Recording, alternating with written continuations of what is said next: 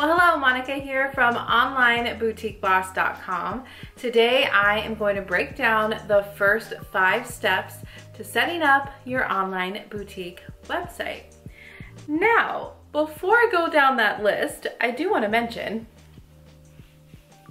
that yes, I am expecting a baby.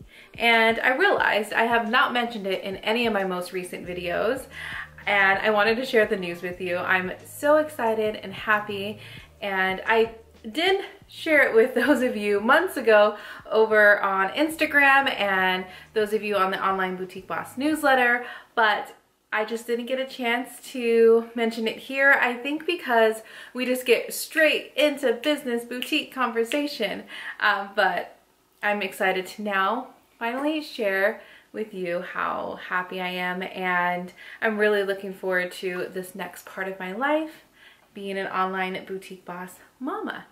Now, I will be taking some time off. I don't know how long that's going to be, but there are plenty of videos here for you to catch up on, maybe rewatch for the second or third time, but there are some videos that I have planned that I will be posting before I take some time off, so you can look forward to those. And one more thing, one more thing I want to say is thank you to those of you who did know the news and reached out to me and just shared your excitement for me. And I really, I really, truly appreciate your love and support. So with all of that being said, let's go ahead and get into today's topic. Okay, the first five steps to setting up your online boutique website. Now, there is a step before the official step one, and that is to choose your e-commerce platform that will be hosting your online boutique website. So I have tried many different platforms throughout the years as a boutique owner myself, and I personally use and highly recommend Shopify. Now, Shopify is dedicated really to those of us who are e-commerce businesses. And there's so many great features and tools and services that you can integrate to your Shopify store to really help you scale your boutique. Now, I am a partner with Shopify and I have this fancy sign up page for you. So if you go to onlineboutiqueboss.com forward slash Shopify. You can get a free trial. And I also have a little video I filmed and all this good stuff. So once you sign up for your e-commerce platform, then we can move on to step number one. Step number one is to reserve your domain name. This is your website address, your myboutiquename.com or .ca if you're in Canada. But this is the link that you will direct your audience to. So keep in mind, this is not the generic domain name that you get when you sign up for say Shopify, where you may see it as myboutiquename.myshopify.com that is not where you want to direct your customers to because one, it's way too long of a website address. Nobody is going to remember that in a casual conversation when you're talking about your boutique. And also, it just doesn't look professional.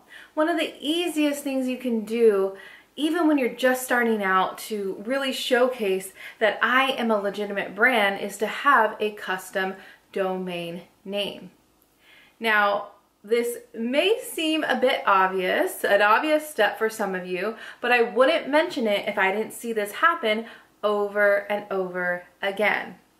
Now, the reason why this needs to be your first priority is because at this point, you should have already registered your business name, you have your business license, and you wanna make sure all of that continues to align with your branding, but also so you can get the website name that you prefer because it might be taken. And if it is taken, you may have to pay a premium price to buy back that domain name or maybe it might not just be available for you to purchase, then in that case, you may have to rework or rethink your business name.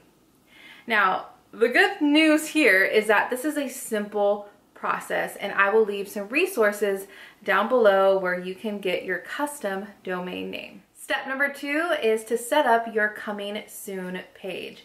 So while you're working on the back end of your online store and you're not ready to have it open to the public just yet, you'll wanna have a coming soon page for your audience to reference. So on this page, you'll wanna include a few sentences that describes the type of brand that you're opening, also your anticipated boutique launch date, as well as a call to action to sign up for your email list, which spoiler is the next step. Now to set this up in Shopify, click on online store and then preferences and scroll all the way at the bottom and you'll see the password protected page.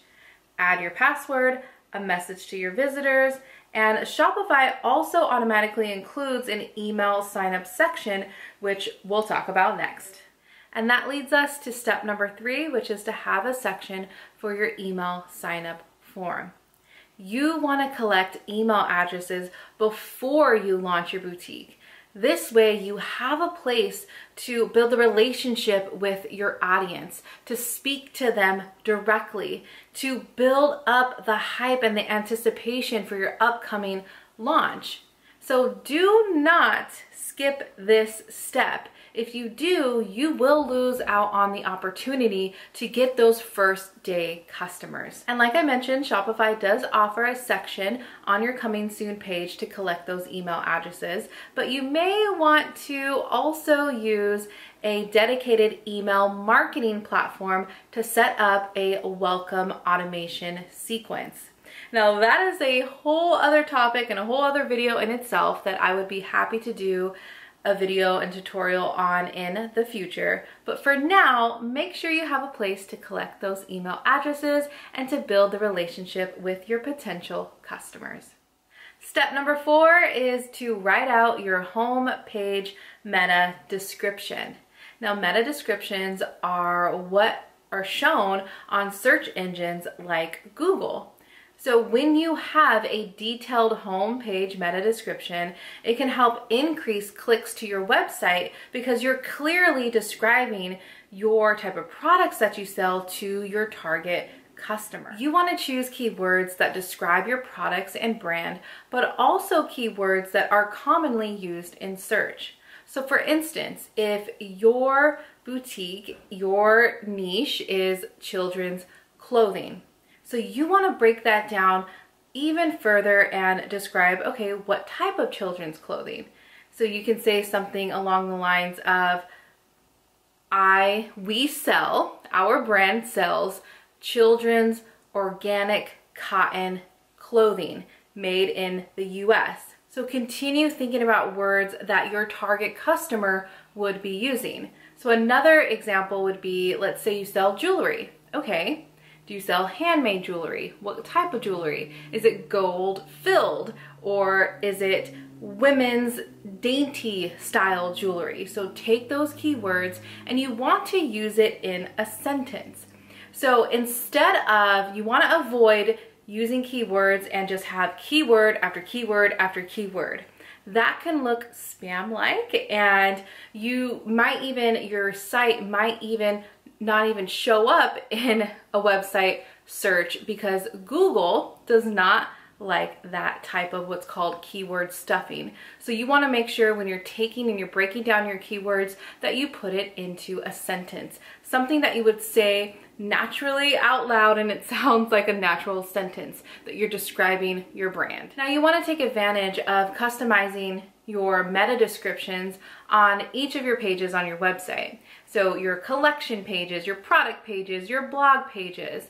And remember, not only is this to help describe that first look in the search engine that describes that specific page, but also for search engine optimization and your SEO.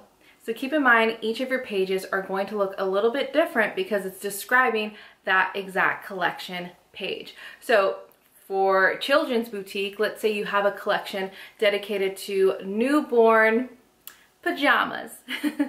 and in those keywords, you can take, take some of that newborn pajamas, organic cotton, and put that into that specific meta description. Now, this may seem like a lot, but just start with your home page meta description and then try to get into the habit of doing this practice for each of your pages moving forward. So in Shopify, again, click on online store and then preferences. And the first section you'll see is where you can edit your homepage title and meta description. And lastly, step number five is to set up Google Analytics. Now, Google Analytics gives you a deeper look into your insights, your conversions on your website, and this does take some time to gather that information when you're a brand new website. So you wanna set this up now and then come back to it after you launch and wait a few months, come back to it, and you'll be able to view some of those reportings and kind of analyze how you can improve your store and see there's a lot of different details that you can see that's going to help you try to improve your boutique website moving forward. So this step is just simply setting up Google Analytics and coming back to it down the line in the future. And now you have the first five steps to setting up your online boutique website and it's only gonna get better from here. So thank you so much again for watching this video. If you wanna learn more about how to build and create a high converting online boutique, a beautiful website you're proud of, come on over and join the waitlist for my signature program, the Online Boutique Boss course. We have a dedicated module to your website. So if you go to onlineboutiqueboss.com forward slash join. You can wait for the next enrollment period. I would love to have you. So thank you again. We talked about a lot of different things here. I know it can kind of feel overwhelming to get things rolling, get things started with your boutique business, but hopefully these tips helped you and I can't wait to see you in the next video.